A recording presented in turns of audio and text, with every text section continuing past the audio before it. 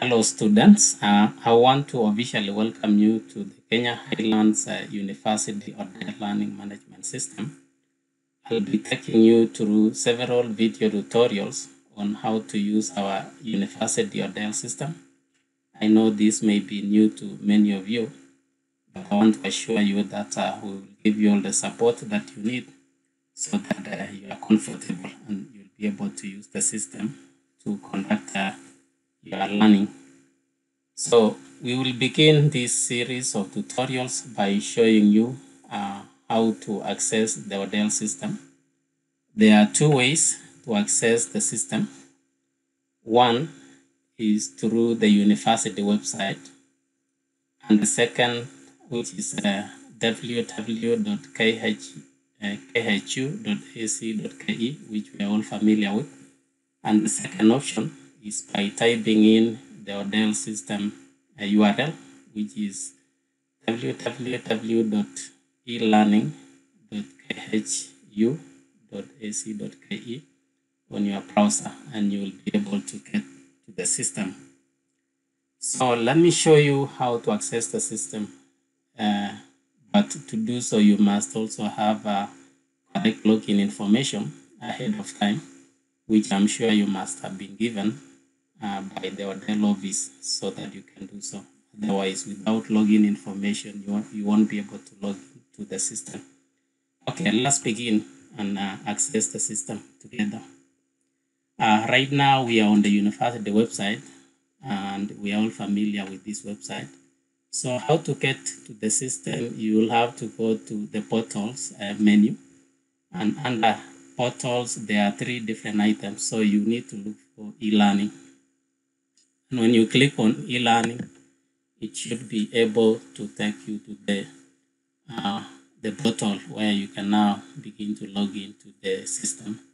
The other alternative, as I said, is you can uh, type e-learning um, e-learning.khu.ac.ke and it will take you to the same uh, the same place where you can log in to the system.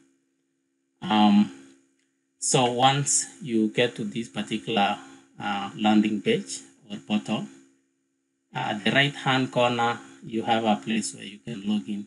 So when you click, I mean, when you uh, click on login, uh, you should be given a place or a provision to log into the system. And there we are. So uh, assuming that you have your login information, and if you don't have, you need to do, uh, you need to get contact the ODeL office so that you can be given uh, your login information. Uh, you just log in with the information that uh, you've been given. And in this particular uh, tutorial, we'll be using test student number one as the username. And then, of course, the password also. You can, you can use the password that you've been given. And as soon as you log in, you'll need to change your password to something that you like. Um, as, as soon as you log in, you will be uh, greeted by uh, this page, which is really the welcome page. Um, now, once you are in, there are a couple of things that you can do. One uh, is to get to the dashboard. Dashboard is where you can access your classes if you have any classes, and if you don't, then that's also where you can uh, you can be able to enroll yourself into a class. So to get your dashboard, and by the way, in order to be sure that you are in your account, uh, make sure the name that reads uh, besides uh, besides um, the image up there, the right hand corner, is your name. Otherwise, you could be in somebody else's account. Besides the username, there's a little arrow. We call it the drop down menu. If you click on it, it gives you a couple of options there. Uh, one of the options is the dashboard, which is very critical. You really need to, uh, you'll be using dashboard in just about everything that you'll be doing. The other option also is the profile. Profile is where you can uh, you can change uh, your homepage to look like the way you want it to look like.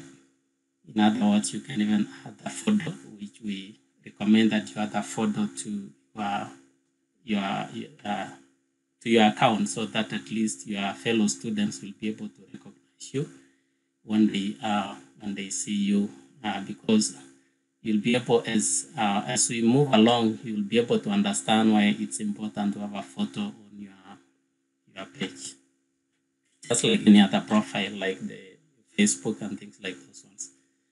Uh, another place to access your portal, uh, your dashboard is also to the left hand corner. You can see uh, a place where it says dashboard. Uh, so in the next video i'll be showing you how to uh, uh, uh, sign up or enroll for classes uh, and then what is really on the dashboard. So uh, thank you and I'll be happy to see you in the next video. Thank you so much.